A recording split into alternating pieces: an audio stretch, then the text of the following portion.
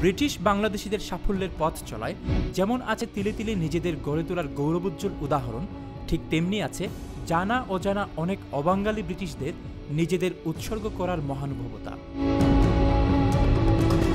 যারা বিলেতে এবং বাংলাদেশে আমাদের প্রেরণা। প্রেরণাদায়ী সেই সকল ব্যক্তিত্বদের নিয়ে আহমেদুসামাদ চৌধুরী জেপির উপস্থাপনায় চ্যানেলেসের নতুন অনুষ্ঠান ফ্রেন্ডস অফ বাংলাদেশি।